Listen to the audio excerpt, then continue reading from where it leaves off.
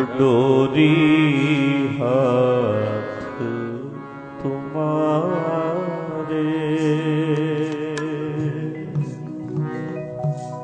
डोरी हाथ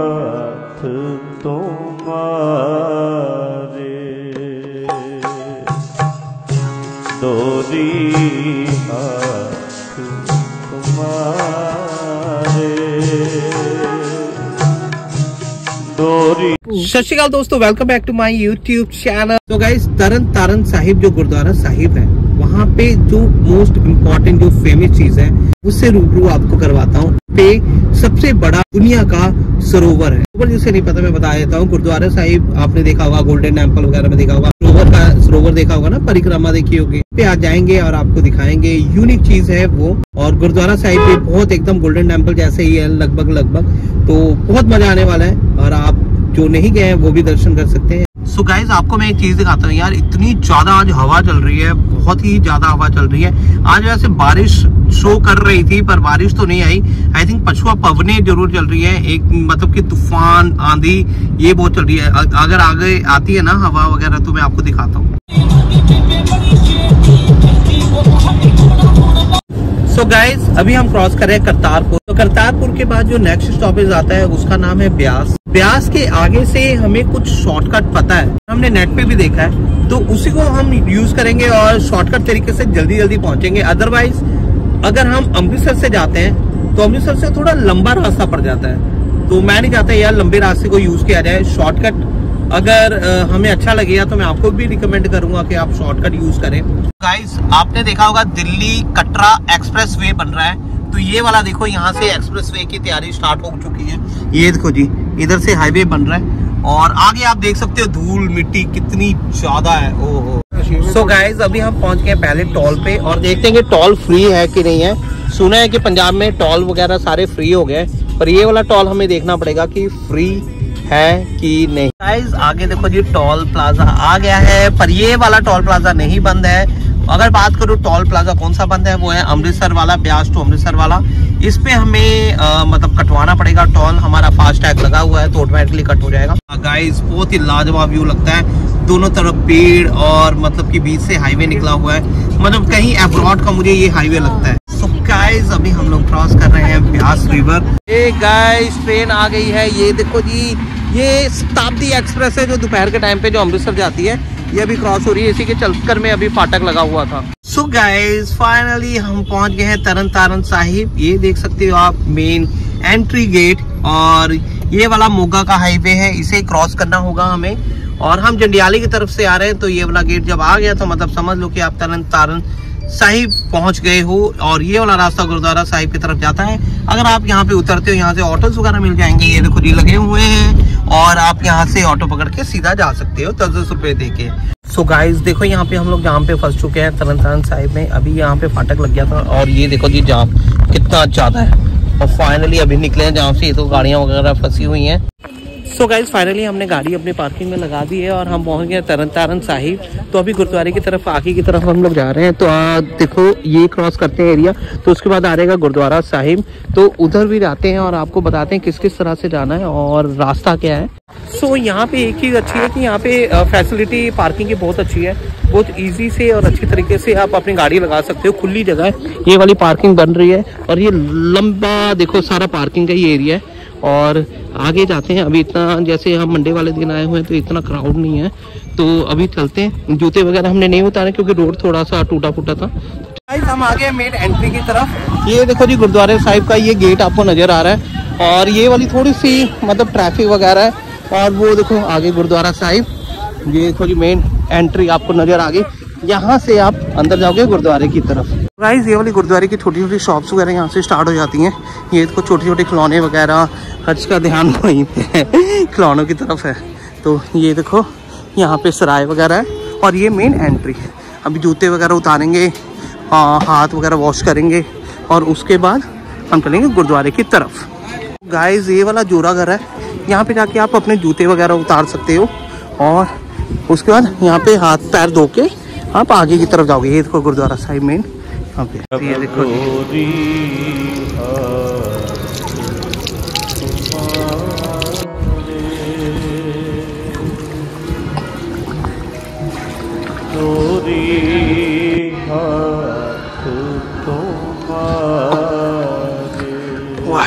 so guys ये देखो जी गुरुद्वारा साहिब। लाजवाब बहुत ही अल्टीमेट बहुत ही मज़ेदार बहुत ही बड़ा सरोवर साहिब और ये देखो जी गुरुद्वारा साहिब।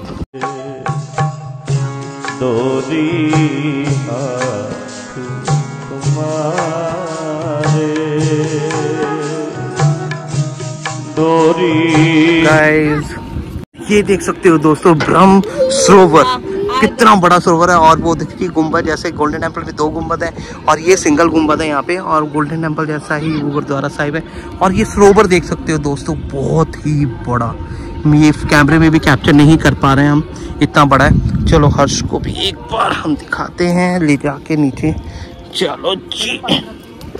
ओके मुँह हाथ होश करवाते। ऐसे पाँच स्नानी किया जाता है। तुम्हारे डोरी हाथ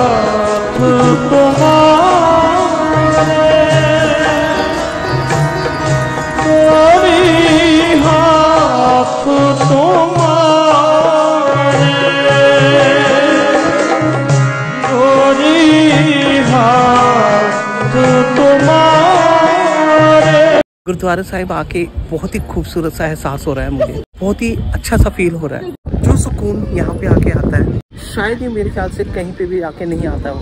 जो इस तरह के स्थान होते हैं, जहाँ पे आप अपने परमात्मा को, रब को याद कर सकते हैं, सीधा उनसे मेल कर सकते हो उससे अच्छी जगह आपको कहीं पे भी नहीं मिल सकती है। तो ये वन ऑफ़ द बेस्ट जो फीलिंग है ना तो दोस्तों आप घर बैठे नहीं फील कर सकते हो, यहाँ पे आके रब के द्वार पे आप ये फील कर सकते हो खुद खुद बाबा जी का द्वार। बहुत प्यारा सा एहसास। बहुत अच्छा महसूस हो रहा है इस रब के घर पे आके। ये देखो जी, क्या हाइट है इस गुंबद की। और कितनी अच्छी सी निकासी कर रखी है इस गुंबद की। बहुत ऊँचा सा है। आप अगर गोल्डन टेंपल गए होगे, अमृतसर गए होगे तो आपने देखा होगा दोस्तों कि सेम गुंबद उसी तरह का है ये। और इस तरह के कॉर्नर पे पानी पीने की भी जगह होती है। बहुत ही प्यारा सा व्यू अगर मैं आपको बताऊँ इस मीनार के बारे में कुछ लिख रखा है। This minaret was built by Kanwar Naunihal Singh, grandson great king Ranjit Singh. तो गाइस आगे आप देख सकते हो दरबार साहिब। बहुत ही नियर आ गए हैं। और वही प्यारा सा एहसास आपको फील होगा जो गुरुद्वारे साहिब जाके ग्रंथ साहिब के सामने मत्था टेक के होता है।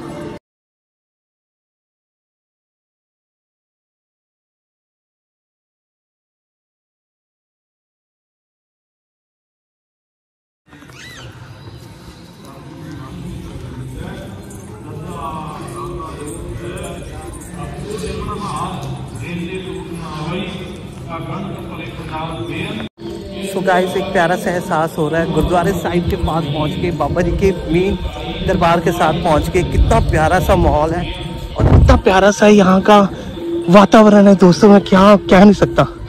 तो ये देखो जी गोल्डन की परत हुई पड़ी है चारों तरफ़ और ऊपर देखो गुंबद कितना प्यारा लग रहा है। और एक अलग सा एहसास है यहाँ पे भाई साहब। कितना खुली खुली सी जगह है और कितना प्यारा सा यहाँ का एहसास है।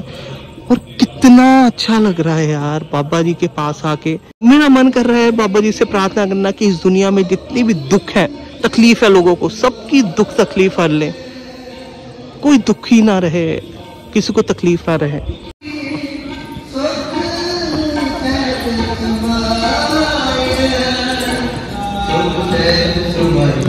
गाइस आप यहाँ से देख करवा सकते हो गुरुद्वारे साहिब के लिए। देख, जो होती है, जो प्रसाद करवाना चाहते हो, आप अपनी तरफ़ से आप करवा सकते हो, ये वो जगह है, गुरुद्वारे।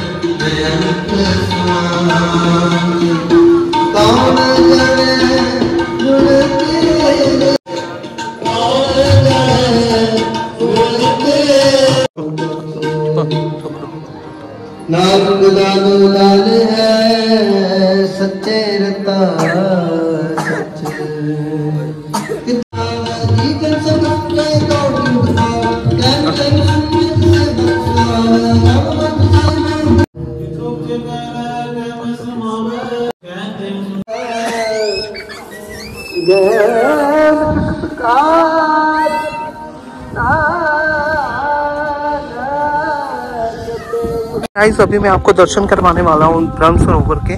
तो आप देख सकते हो यहाँ पे जाके आप अमृत पान कर सकते हो। जब भी गुरुद्वारे के बैक साइड पे जाते हो हरमंदिर साहिब में जिस तरह से आप अमृत पान करते हो बैक साइड जाके उसी तरह यहाँ पे ब्रह्म सरोवर पे आप अमृत पान कर सकते हो जी। ये देखो आप देख सकते हो। कितना प्यारा सा यहाँ पे है। ये देखो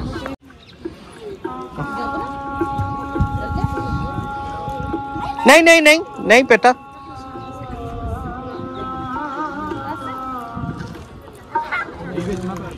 आपको मैं फ़िश दिखाता हूँ। भाई साहब कितनी ही प्यारी है यार। ये देखो जी वाइट एंड ऑरेंज और वाइट का मिक्सचर जो है। और उस साइड देखो फ़िश वगैरह ना तीन चार है बट बहुत ही लाजवाब है यार। सो गाइस अब हम कर रहे हैं परिक्रमा। और जैसे हरमंदिर साहिब जाते हैं तो परिक्रमा करनी बहुत ज़रूरी होती है।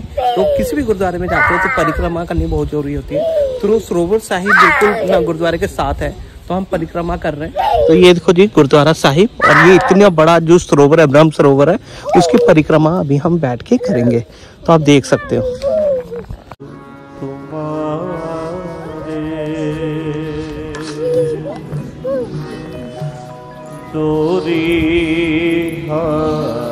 आपको एक बहुत ही प्यारी सी तस्वीर दिखाना चाहता हूँ फ़ोन वीडियो दिखाना। तो मैं एक आपको तो मैं आपको बहुत ही एक प्यारी सी तस्वीर दिखाना चाहता हूँ। एक मुस्लिम गुरुद्वारे साहब के सामने बैठ के अपनी प्रार्थना कर रहा है। ये देखो जी। नमाज़ अदा कर रहा है एक मुस्लिम गुरुद्वारे के साथ आके। इसे कहते एकता का धर्म। सो गाइस एक बात बताओ यार, एक बात बताओ। जो आपने तस्वीर देखी, वो तस्वीर देख के आपको क्या फील हुआ? दिल से बताना, ये एकता और मानवता की तस्वीर थी। इसे कहते हैं, सारे धर्म एक खुदा, एक रब, सिर्फ़ एक है सब, ऊपर वाला। अब उस मुस्लिम को क्या पड़ी थी कि वो यहाँ पे गुरुद्वारे पे आके नमाज़ अदा कर रहा है? पर उसके लिए भगवान, अल्लाह, वाहिगुरु सब एक ही है ना? तो इसीलिए वो यहाँ पे अपनी नमाज़ अदा कर रहा था। तो यही चीज़ है जो दर्शाती है कि एक ही खुदा है, सबका एक ही भगवान है। सो so गाइज़ इसी चीज़ से हमें ये सीख लेनी चाहिए कि जो हम धर्म के नाम पे दंगा करते हैं, लड़ाइयाँ करते हैं, एक दूसरे से मतभेद करते हैं तो ये चीज़ नहीं करनी चाहिए। क्योंकि भगवान भी एक है तो उसके बनाए बंदे भी एक हैं। तो जब हम लड़ते हैं तो हम उस ऊपर वाले के बनाए हुए, उस पर संदेह करते हैं कि रब ने तो एक बंदा बना दिया, एक जैसा सबको बना दिया तो हम धर्म से उसे बांटते हैं, अलग करते हैं। रंग भेद से एक दूसरे को डिफ्रेंशिएट करते हैं। ये चीज़ों से हमें ऊपर उठना चाहिए और इन जैसे तस्वीरों से सीखना चाहिए कि एक मुस्लिम बंदा आके गुरुद्वारे पे अपनी अरदास कर रहा है। सो so गाइस जो मैं अभी आपको दिखाने वाला हूँ यार, ये लाजवाब चीज़ है। वहाँ पे गुरुद्वारे के पास से ये चीज़ नहीं पता लग रही थी, पर यहाँ से मैं आपको दिखा देता हूँ। ये दुनिया का, ये गाइस दुनिया का सबसे बड़ा सरोवर है। इट बोला जाए, सरोवर तो बहुत सारे हैं। ब्रह्म सरोवर भी है, महाभारत का उत्तर सरोवर भी नहीं। जो गुरुद्वारे के साथ सरोवर होता है, ये दुनिया का सबसे बड़ा सरोवर है दोस्तों। तो ये तरन तारण साहिब का सरोवर सबसे बड़ा है। आई थिंक उसके बाद का सरोवर दूसरे तीसरे नंबर का गोल्डन एम्पल सो गाइज़ हम सबने अभी मत्था टेका तरन तारण साहिब जी का। और होप करता हूँ कि आप सबने भी मत्था टेका होगा और मन की मनोकामनाएँ मांगी होगी। तो बाबा जी ज़रूर आप सबकी मनोकामना भी पूरी करेंगे। तो ये था आज का ब्लॉग अगर पसंद आया तो लाइक करना शेयर करना सब्सक्राइब करना कमेंट्स करके अपनी राय ज़रूर बताना और बताना कि और कौन सी जगह है पंजाब में जो आप देखना चाहते हो। तो मिलते हैं नए ब्लॉग के साथ। बैठे के शपा खैर। सत दोस्तों।